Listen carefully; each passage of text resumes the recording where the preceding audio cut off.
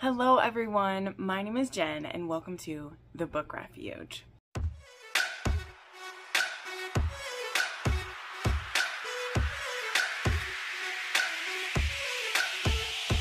So, today we are doing my week 22 wrap up, which was a little bit less than normal, but you'll see with some of the books I had um, some physical books I was reading, which does tend to slow me down a little bit, as well as one very, very large fanfic that took me about a whole week to get through. So that slowed me down just a little bit as well. But also, I'm sure you can see my lovely um, Gryffindor line in the back. This is my most recent cross-stitch project that I worked on, and I'm obsessed with it. I'm obsessed. So we're going to show it off while I do the wrap up this week because man, did I work hard on this and I love getting to show off what I do a little bit. So first off, we do have some new supporters to uh, call out. Um, I have two new patrons to welcome. There's Candace and Gianna M. I think that's how G Gianna, Jean, Gina I'm not 100% sure how you pronounce it, but thank you so much for your support on Patreon. And then we have Stacy M, who has joined at the dedicated diva level on my channel memberships. And Stacy, thank you so much. As I said, week after week, and I will continue to say week after week, thank you to everyone who supports me. Any level of support helps so much. Even you just watching this, liking this video, comment, you know, about one of the books that I'm talking about or a book you want me to read um, all of that stuff helps me in big and small ways. So I appreciate it so much. But let's go ahead and get into the books. Like I said, I don't have as many as normal to talk about. I think I only have eight to talk about today. Yeah, I think there's just eight. But uh, yeah, we're going to get into them. So the first one that I finished was How to Win the Girl by Sara Ney. Um, as you guys know, I was supposed to have an interview with Sara Ney. She was under the weather last Sunday, and I'm not sure when we'll have this rescheduled for. I'm going to try to get it in June, but I'm not sure because now I am pretty busy on the weekends for the rest of June. In fact, um, this week and next week are the only weeks that I'll be able to film my wrap up at the normal time because um, I have some fun stuff happening, which is great. I love that I have places to go and things to do. Um, but that means that I'm not going to be home as much to do live shows and such, right? But this is her most recent release. This is book two, and I think it's called like Campus Legends or something like that. Um, or the, is this the one that's going to be about the brothers? I'm not sure. See, I hadn't read the first one in this one. Um, you'll know I'd been reading some of her books in weeks previously to prepare for this, but I hadn't read the book before this one because I didn't have time, and she had sent me an arc of this one. So this one is about Drake and Daisy, and their relationship is kind of interesting because Drake is a twin and as twins, they trade spots with each other sometimes. And in this one, um, Drake first meets Davy when, Daisy when he's undercover as Drew in one of Drake's classes. He goes to his class for him, um, and they meet and they don't hit it off that great. Then they end up meeting in a dating app, and um, he still pretends to be Drew on the dating app. So the heroine is seeing very different aspects of Drake because she's seeing him pretend to be Drew in class, but then he's also pretending to be Drew on this dating app. Well, but like acting like himself. So then when she'll see Drake in person again, he will like not pretend to be the same and then she'll run into the real Drew. So it's one of those where I did think it got a little overly complicated and also the hero lies for such a long portion of the book. And this was kind of the same issue that I had with was it hard pass or hard fall where like the lie just goes on for too long into the story and so by the time the hero like says it where like you carried this on too long. So that can be a little bit off-putting. But overall i really enjoy like listening to the audiobooks of sara's books. And they're definitely some good like mindless fun. And yeah i've i don't ever like dread them. Is that a good way to say it? I don't know. Um, but they aren't ones that i will probably like reach for first before other things. So i'm just being honest about it. But you know what still had a fun time and I'm glad that I was able to read an arc of that one. So I did give it a three Um, but it was a three of like, I would still recommend it in certain situations, right? There's kind of a difference between those. And it was a two on the spice scale. Next, I read The Badge, um, which I had on my TBR for May after meeting Lena Hendrix at um, North Iowa Book Bash, and I want to read through her Redemption Ranch series. I have a signed copy of this, obviously, um, because I was very intrigued by the premise of this. And I actually really like these vintage covers she made for these. There are still the man covers of these if you want them, but I actually really like the vintage covers. Um, I normally lead, like, reach for a couple covers first, but I like this one. So, yeah, this story is about um, Valor, who is a police officer, and she uh, sees a scenario that puts her in danger. And there also is the loss of an officer during this event. And so she is put on like administrative leave. And then when they're supposed to be clearing her to go back to work, they actually don't clear her to go back to work. And they tell her, we want to send you to this place it's not called Redemption Ranch, Montana, but that's what it's called by the locals and the people who live here. And what it is, is it is actually a WITSEC location. Um, that is this ranch. That is a functional ranch, and the two agents who run it, they've been FBI agents for a very long time. It's a married couple, and they have both.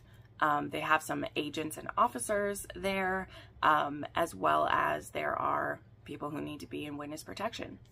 And we have Evan Walker, who is there with his younger sister, and he actually used to be a part of the mafia. He wasn't a like head of anything. He was more of a grunt work and he was kind of drawn into the mafia because of his older half brother.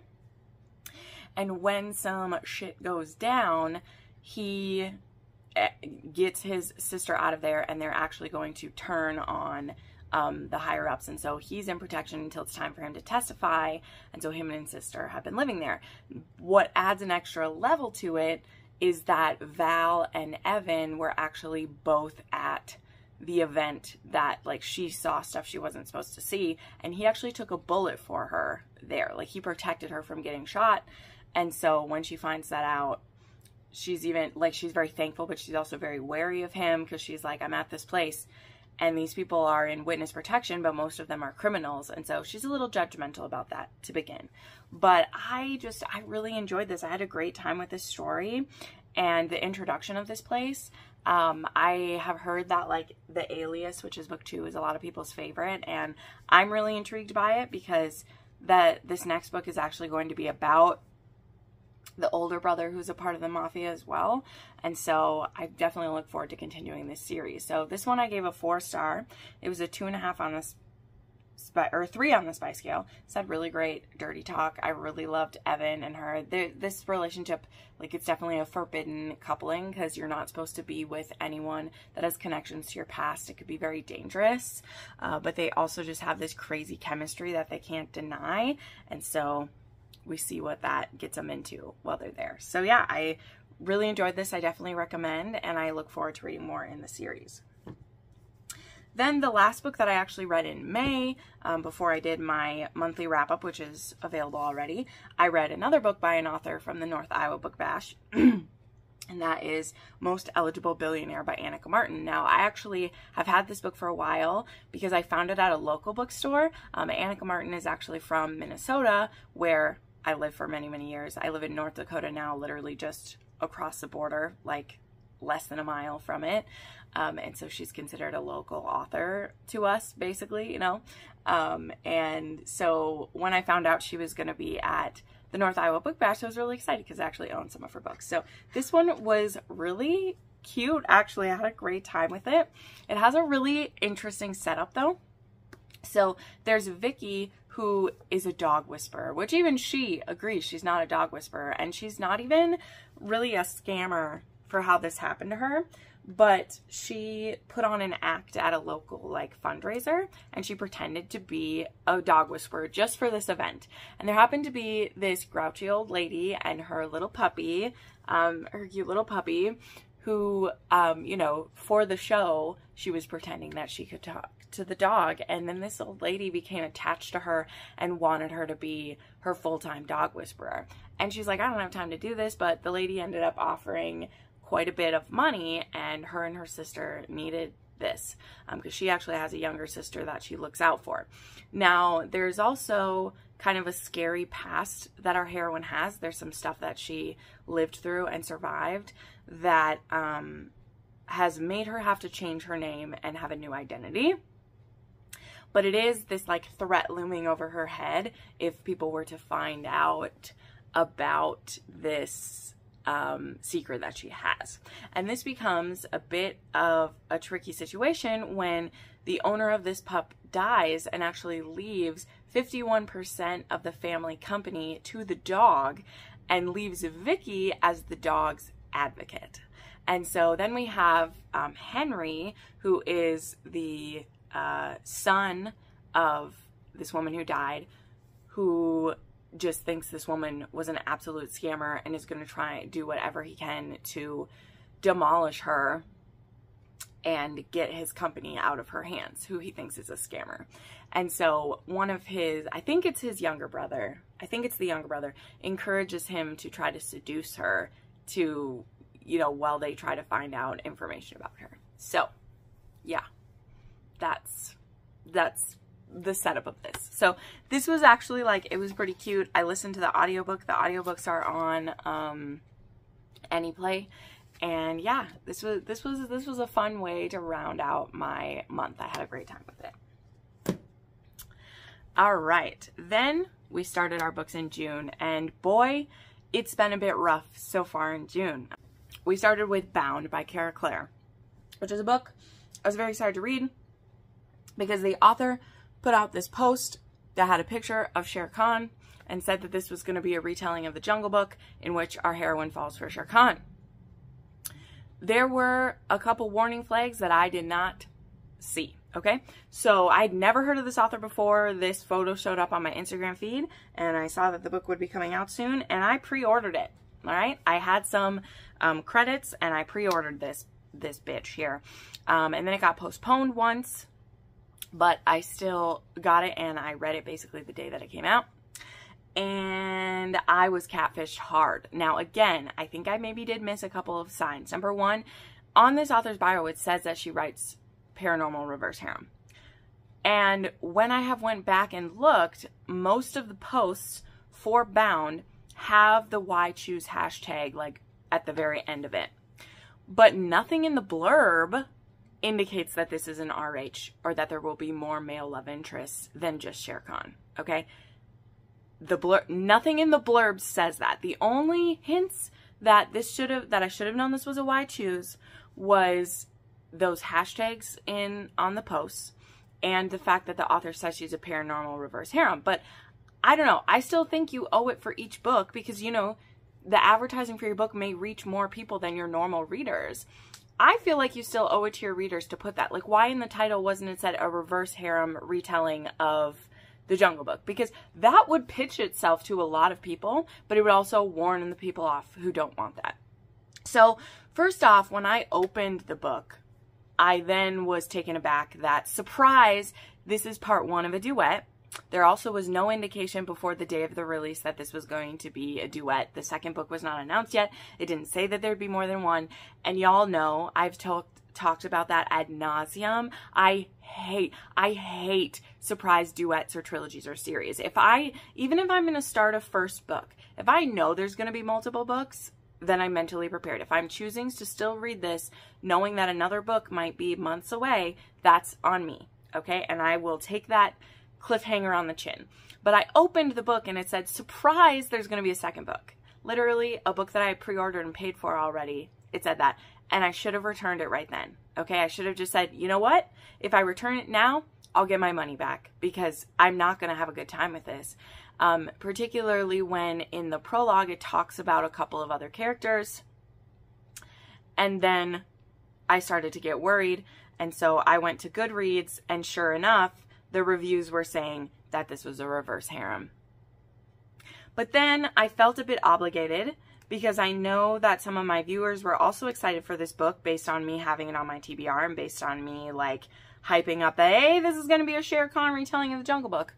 And for that, I apologize to you all. I apologize to you because I despise this book quite a bit. Um, not, you know, and I can like a reverse harem. So let's be clear, let's be clear. I am not 100% opposed to a reverse harem, but do I like being surprised that it's one? No. I don't like being surprised that a book has more than two people in it unless you tell me ahead of time. And I think that's fair because even though I do like books with multiples in them, I have plenty of books that I adore that have more than two love interests in them. I don't appreciate being surprised with it. Um, I don't like that. So we were already just racking up not great things about this book. And then I actually started reading the book. And it does quite a few things that I don't like as well. We do a lot of POV shifts where we repeat stuff we've just seen. This is something I really, really dislike. It's why I don't usually love reading books when they're retold from someone else's point of view, but it's the exact same story and we don't add anything different. Well, the author was doing this in real time with having a chapter from Gliana's point of view, and then a chapter from Shere Khan's point of view, and then a chapter from the bear's point of view. Yes, I'm not, I'm just getting into who the other characters in this are. Um, and so sometimes we see a scene from literally three different POVs. Um, so that wasn't great. Um, then I just I didn't feel any connection. Like I did a post on my Instagram that I hadn't seen any like stuff that indicated this would be a romance until 46% in. And I hadn't even seen any indication that it would be reverse harem until 60% in. Um, there was finally some indication that a couple of the other male characters might be willing to share Gliana. Um, but no discussion with her about if she'd be up for that. She hasn't even liked one of the men yet. Um, and so, really, this book just kept spiraling from there for me. Um, uh, there was a random time jump involved. The other characters included Baloo and one of the Wolf brothers. You know, so if you know the original story of the Jungle Book, there's the bear and he's not called Baloo, but like his his title does say the bear um, because he's like a bodyguard slash like someone who um, protects Gliana and he helps her escape from uh, a forced marriage that she was pushed into. Um, and yeah, there's that. And then there's a point in the book where she stays with the the wolves, which again, um, you know, in the original, like Mowgli is raised by the wolves for a little bit and one of the wolves who in this they're shifters. So that's the thing, like all the animal, all the all these men are like shifters in some stance. Like Shere Khan obviously can turn into the tiger, the wolf can turn into wolves, and I believe the bear must be able to turn into the bear.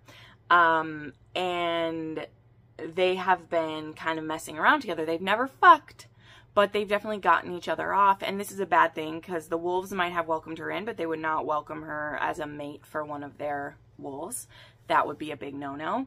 And so, you know, after a time jump of a year with her living with them, then we see that she has been messing around with this wolf, but then she needs to leave because she's causing problems. And so now we're all trying to find her. So we've been introduced to these three men, but the only one we know she's had some kind of sexual stuff with is the wolf brother. And then Shere Khan shows up and he's on this mission where he's supposed to kill her and he's like bedazzled by her magic, the JJ, um, and wants to take her virginity, and now she's mine. Even though I've been sent to kill her, now she's mine.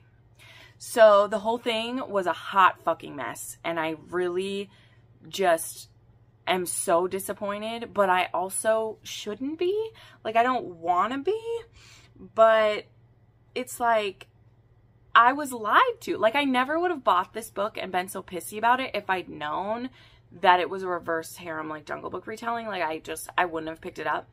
Um, and then I would have been even more annoyed if it was going to be two books instead of one. And yeah, I'm just I'm very disappointed. And part of that might be my fault because I didn't pay attention enough. So fair enough. But I also got to put it on the author of like, I went back and looked. And again, the only indication I saw in any of the posts is that there was a hashtag why choose in the tags of the book. I never saw it in the description. I never saw it in the description on Amazon where it said this is a reverse harem paranormal retelling of the Jungle Book. It just focused on Shere Khan and everything. So I think I was lied to about it. So I gave it two and a half stars and um, it was even only like a one and a half on the spice scale. Like there was like nothing that even happened in that at all, um, which I could get over if I felt that there was any romance brewing at all, and there wasn't. So anyway, so then we have one of the bright spots of the of June so far, and that was A Crown of Cruel Lies. So this is uh, book eight in the Fae Guardian series and book two in the Season of the Elf. And this was a book I was very much anticipating now, it came out in January, but I was waiting for the audiobook because I've listened to all the audiobooks in this series and I really wanted it. But one thing that I do highly recommend is if you do like these books, I highly recommend you buy them because even the paperbacks, I know some people think it's only in the hardcovers, but even in the paperbacks, there is beautiful drawings. This isn't a special edition. This is just the regular cover. Look, here's Aaron. Um, and they're just, they're beautiful. The author does such a beautiful job with these. So yeah, even in the paperbacks, there is artwork inside. So definitely there. But anyway, this one is about Aaron and he is our deaf elf. Um, and in previous book, it was indicated that maybe one of our um, heroines previously who has healing gifts, maybe she would be able to heal his hearing because he believes like it is an injury, a curse that could be healed. Um, and he isn't going to be able to fully be a guardian until that gets healed because he's just not at full capacity, right? And he does have a lot of like self hate about his deafness. And so I will say that is hard to see, but, but he has a beautiful journey ahead. Because um, when he meets his mate, who she has been hiding away in the woods and he knows that his mate is near, but he doesn't want to bond with his mate until he is fully healed. And so he wasn't going to, you know, cement their bond. But fate has other plans and she ends up literally falling into his lap or falling to the ground where she breaks both her legs and is now um, pretty much crippled for a short amount of time.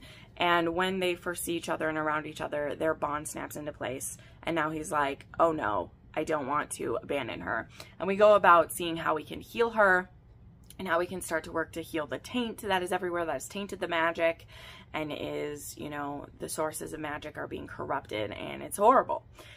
And so the journey that these two go on is so beautiful. I love watching how um, number one, our heroine actually knows a lot of sign language because she had, I believe it was, she had worked with some people who were deaf before, or she had helped with some students who are, I think it was, she had worked with some people who were deaf, so she knows quite a bit about it.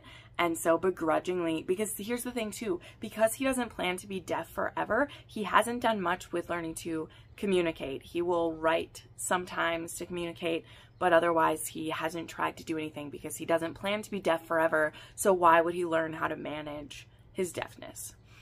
But there comes a point in this story where one of them can be healed, either his mate or him. And that's where we see some of the really beautiful stuff happen in this story. And I love it so much. And also, when there is finally some love scenes in this one, which are beautiful, um, Trix, our heroine, she loves Aaron's voice, um, which he's very self-conscious about since he can't hear it himself. And she's like, babe, it's so sexy. So he will dirty talk to her um, and only for her. And it's beautiful. So I gave this one four and a half stars. Um, and this one was a two on the spice scale. And like I said, there is some ableist language and some self-hate in the beginning about this character's disability, but I believe the author put it there to show how he feels by the end and how honestly, um, you know, his mate helps him accept himself. And I mean, because she completely accepts that about him. And I just, I think it's beautiful. It was wonderful. Okay. Then I received a arc of Forgive or Forget Me from Anne Iverson. or Ein, Einer, Einerson, um, which was so kind. She sent me um, a signed uh, arc of her new release here. She had sent me some cute little like postcards with it, which was really sweet. And I was very much anticipating this read um, because it has um, a second chance romance. They were childhood lovers, um, very emotional, and those were all the things I was told. There is also a lot of loss in this book, which we know about. Like she had lost her mom to sickness. His father, who he's estranged from, is is dying from cancer in this. And our doctor is actually a pediatric oncologist, which thankfully we don't see any sick kids in this book, but like that's the job that she does. Um, and so we do see one child in here who is in remission, which is really cool. We got to see her. So this book I had very, very high hopes for. And as I said in my Goodreads review for this one, I still would read this author's books again because her her actual writing skills were very powerful and I was very moved by the story as I don't know who wouldn't be because it's very emotional but the pacing and the revealing of information was really off for me and it, it spoiled a lot of my enjoyment that I could have had from this book. Um, the biggest weakness for me, like the single biggest weakness, which there isn't another one I'll talk about, but the single biggest weakness for me is that as a lot of Second Chance does, so I've seen it done well, there is a lot of flashbacks. There's flashbacks to the 15 years before. The issue that I had with it is that pretty early-ish on into the story, we find out what the hero does to the heroine, like why he's gone. And so I had this sense of dread, right? Every time we go to a flashback, you have this sense of dread because you know we're going to lose the heroine's mom and you know we're going to, that he's going to leave her. And we also, at a certain point, before we ever read that flashback, we learn that the heroine had a miscarriage of their child after he had left her.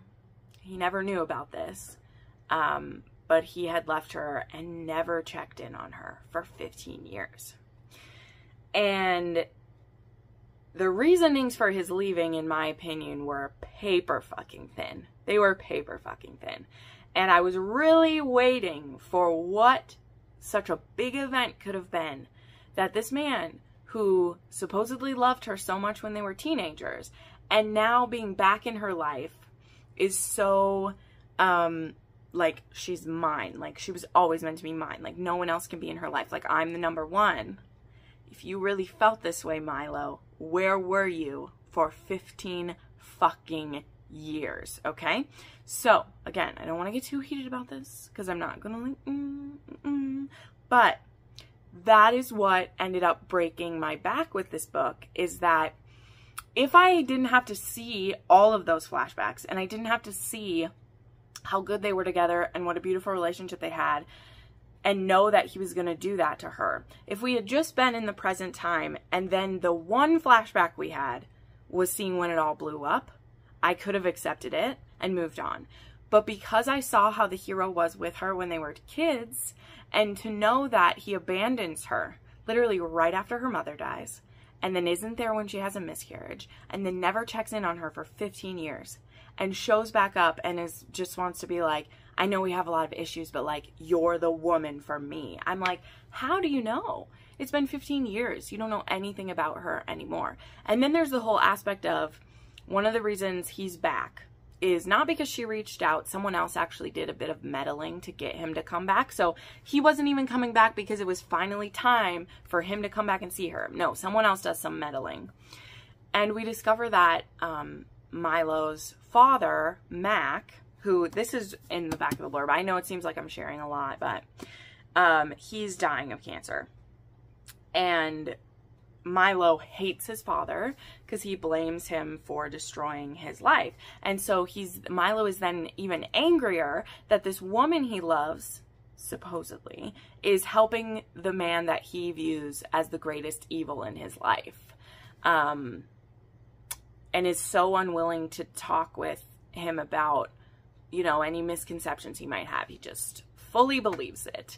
Um it made Milo irredeemable for me. And that was the second thing that broke my back.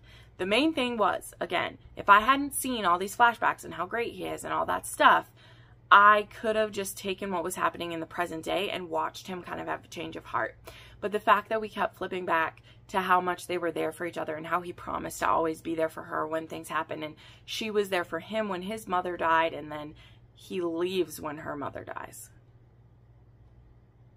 and never looks in on her at all and had no plans to as far as we could see. And then he wants to come back in and say all these sexy things of like, you're my stardust and like, we were always meant to be together. I just call bullshit. I just call bullshit. And so when we had like romantic scenes in the present day, I didn't buy them for a single second. And I really wanted Olivia to tell him to take a hike. I really wanted her to be like, You have done nothing but destroy things in my life, and you can go now. And that's not what this story was about. So, again, what I did like is I liked the author's writing. I was very compelled and sucked into it. I mean, I made it through this 430 page book, even though it was very angsty and very frustrating to me. Her writing pulled me along, and I liked that. I just think that the pacing and the choices that she had Milo made I didn't like them. I really loved Olivia. I loved her. I loved all the the the the group of people around her. I loved Mac. I loved Mac. Um, but Milo was irredeemable for me. A- absolutely. Doghouse forever for me. Um, and I can't get behind a book where I think the hero is irredeemable because he's who I'm looking to love, you know, he's who I'm looking to connect with and be with. But as I said, I would read another book by this author that maybe wasn't a second chance with flashbacks in it because I think the writing was very compelling. And I mean, look, this debut book, this is beautiful. So I, you know, and if you're watching this, I hope you aren't watching this because I feel so bad to speak this way of it. But thank you for sending me this. I'm I'm sorry that I wasn't a glowing review for it, but I really believe in your talent and what you're gonna do. Um, and again, like there was a lot of good to be in it, but this story wasn't for me. Like there are a lot of actually glowing reviews for this book, including I think some of you watching. I know some of my viewers have reviewed this book as well and loved it.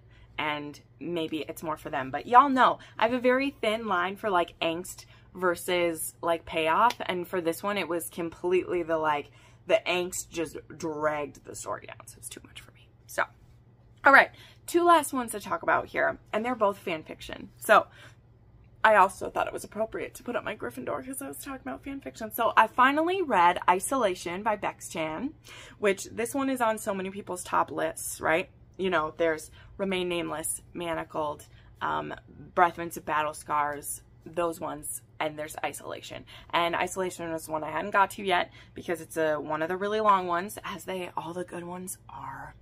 Um, but a lot of my friends are reading fan fiction again. They're going through it. And the next fan fiction readathon will actually be next month, by the way. I'll be announcing the exact dates soon so people can prepare. But I'm wanting to read some more ahead because I'm planning to put out another recommendation video.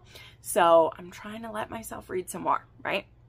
Um, and so, anyway, Isolation is a sixth year AU. So, where this one changes is when um, Snape has to kill Dumbledore. Um, Draco has done something to piss off the Dark Lord, and so he's going to kill him. He's going to kill him. And because Snape has made an unbreakable vow with Narcissa that Draco not be killed or it will kill him, right? He needs Draco to live. So what he does is he brings Draco to McGonagall, who first Snape has to explain everything to McGonagall, like, hey, hi, I know it looks like I just killed Dumbledore, but I didn't. Well, I mean, I did, but Albus told me to do it, um, and we need to keep Draco alive because if he's dead, then I die and I can't complete the work that Dumbledore wants me to do. And so McGonagall's like, well, I don't know what we're going to do with him. I don't know where we can hide him. So they take Draco's wand, they lock him down, and they end up making Hermione share a like uh, head girl, head boy, or like I don't know why there's like a guy and girl room. I know it's not supposed to be a guy and girl room, but basically share like a head girl apartment with Draco. So like there's two rooms and a bathroom and like a little like kitchenette area. So basically they have like an apartment together within Hogwarts. And Draco is not able to leave. If he tries to leave, it's pain. He's not able to touch Hermione's wand because it will hurt him. But Hermione is stuck in this room with him for all the rest of like um, basically she stays there with him for a really long time. They're together for all this time. And the first like half of this story is their slow burn romance, okay? And it is a very slow burn. And I actually used, which I'll share this with you, um, there was this person on Spotify who had the first 18 chapters recorded. They didn't finish the story. They've actually stopped doing fan fiction like narration, but it really helped me get into the story because I was really struggling with just like focusing in long enough. Like that was not the story's problem, it was my problem. And so I listened to the first 18 chapters. So if I remember, I will link the podcasts that I listened to that did that because some of the other podcasts didn't even make it like five chapters into this, but that one had 18 chapters and I put it up on a 1.8 speed and it really helped me get through because by the time the narration was done, I was hooked into this. Um, and then I ended up finishing it over the next like three days. So yeah, but it is a very slow burn. And I, what I liked about this one is a lot of the Dramione that I've read fit into a couple categories. One, they are an AU.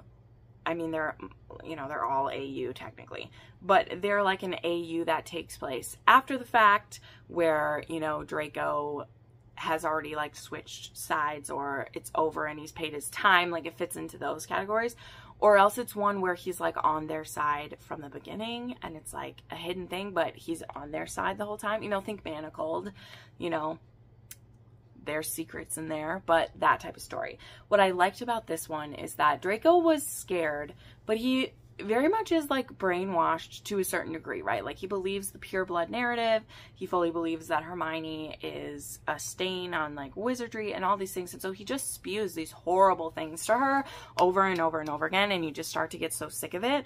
But Hermione, with her like steadfastness and her like patience, slowly wears him down. And as we watch these two fall in love, like I very much believed it because it doesn't happen easily or quickly.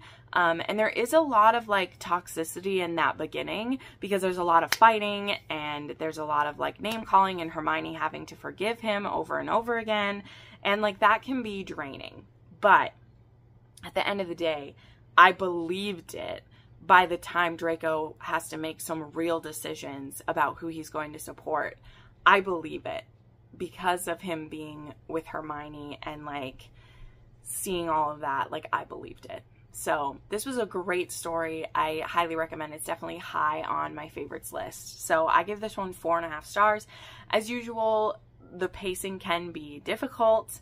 Um, there are, is some stuff where like we could have cut this out to cut it down, but that isn't something that I like crucify a fanfic for because when an author is writing the story just as it comes to them, you can't always foresee what you're going to need to edit out, you know? So yeah, I enjoyed this. It did have a two and a half on the spice scale, but this is one that's rated mature, not explicit. So like there is definitely a good amount of sex that happens once these two are intimate, but it's not like graphically explained sex. So take that for what you will, you know, like if you really want that, this isn't the most raunchy one you'll find, but it was also very beautiful. There's some very beautiful intimate scenes in this and there's also some parts in this that are hurt and comfort and we do still, because it's starting like sixth year, we do go all the way through the defeat of Voldemort and we get to see how it happens a little bit differently if Draco were on our side. So yes.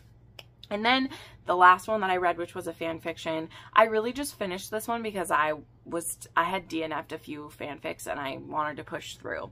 Um, but this one was called Smirk at the Fear by Mama Merch. and this one is a Lucius and Hermione and it takes place when Hermione is 25 and Lucius is 50 and they end up getting connected because Lucius is under threat of like a, a, lawsuit and Hermione for what her job is at the ministry like they end up working together to talk through that and it turns out that Hermione is a dom and he has sub tendencies and they end up getting connected and trying out if they want to um, be together or not. Like it kind of, it, this one isn't a super long fix, so it really does kind of move itself along for that pretty quickly. Um, and yeah, it, this one was definitely really spicy, but it also, I should have listened to the warnings. It had some kinks that I don't love. Um, it had some pet play near the end. Um, it is just all pretty much contained to one chapter that you can skip if you want. I don't know why I didn't do that, but it literally involved um, like like wearing a muzzle and wearing like paws and Lucius acting like a puppy and you know Hermione being like, "Puppy, you better make mama come." And I'm just like, I can't. All right? No kink shame, but I'm allowed to say what icks me out and what doesn't, okay? If you love that, this could be a great one or you want to experience it, check it out. But I'm still allowed to say what icks me out and be a very accepting person on my channel here. but that one was, I should have listened to the warnings, but I was interested to see a Dom Hermione. Um, and for the most part, I liked it, but it just, yeah, it just got a little weird. And then it was one of those two where like Draco has a relationship with who's he with? I can't remember who his partner is, but he's also a sub and like he thought that his father might be a sub and so he's actually the one who set him up with hermione and that like you can see my face that made me really uncomfortable that like draco knew enough about his father to think his father would also be submissive in the bedroom and when that information came out i was kind of like okay i need to be done so yeah i gave this one a three star maybe being too generous and it was a four on the spice scale and again yeah there definitely are lots of kinks in this one but yeah. So anyway, there is week 22 of 2023 for you. Thank you so much for watching this video. Make sure you like and subscribe and check out the ways you can support the channel if that's something that you're interested in. Thank you so much for watching friends and I'll see you next time. Bye.